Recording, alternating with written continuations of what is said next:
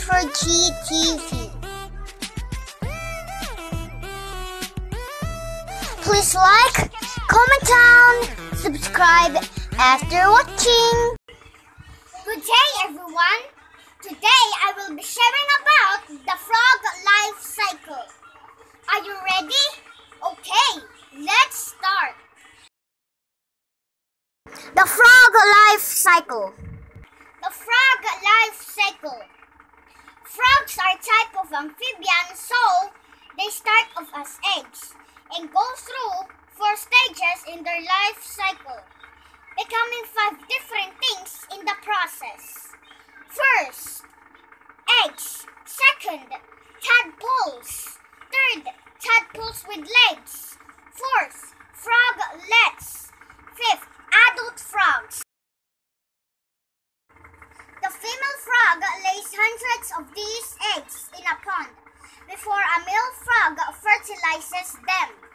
Many these get damaged in the fertilization process due to exposure to wind and rain.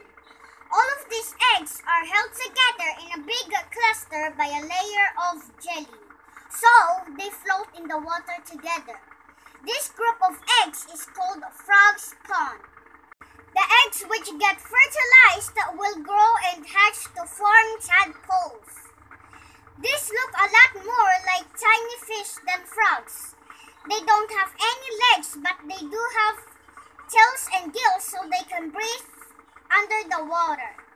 Over the next few weeks, these tadpoles will swim around eating plants and algae in the water. This is an important part of the pond's ecosystem. This will grow front legs and become tadpoles with legs.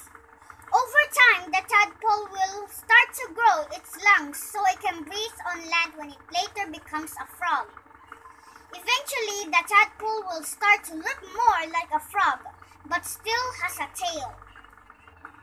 The next stage of a life cycle of a frog at around 12 weeks is becoming a young frog, also known as froglet. At this stage, the tadpole has grown front legs and its tail starts to grow shorter.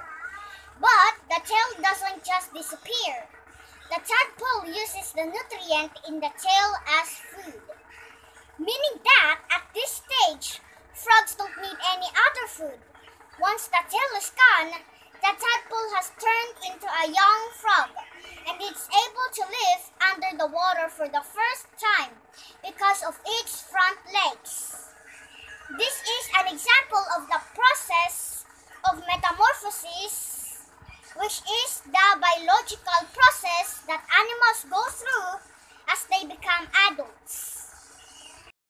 The final frog life cycle is becoming an adult frog, which happens around 2 to 4 years after the tadpole grows into a young frog. An adult frog will look extremely different to how it looked at the initial stages of eggs, and tadpoles will be living on land, not in a pond. Now the tail have completely disappeared, while the froglet there would have been a slight stump. It will also have a diet of insects instead of plants. This is the end of the life cycle of a frog. But they will eventually lay and fertilize their own eggs, which will restart the cycle again. Let us know some facts about frogs. Did you know that there are over 5,000 different types of frogs? These frogs occur in the northern South America, mostly in Andes, with some species found in the southern Central America. There are small frogs whose eggs are laid on land, and developed differently into small froglets by passing the tadpole stage. 2. Even though they have lungs, frogs breathe through their skin. Their skin had to be wet for them to breathe, so they produce mucus to make sure their skin is wet enough. Number 3. Adult frogs don't have to be in bodies of water to drink water. They can drink it from just a dew or condensation. 4. After hatching, the tadpole will eat the yolk from the egg it came from. 5. From the beginning, tadpoles have small mouths. 6. Young tadpoles hide in the water because they are very fragile. 7. Like fish, a lot of tadpoles will swim around in groups after about 4 weeks. 8. Froglets have tongue muscles so they can start learning to catch flies. 9. A type of frog called Wallace flying frog can fly up to 15 meters because of its webbed and padded toes. These frogs live in trees, in jungles, in Malaysia, and Borneo. 10.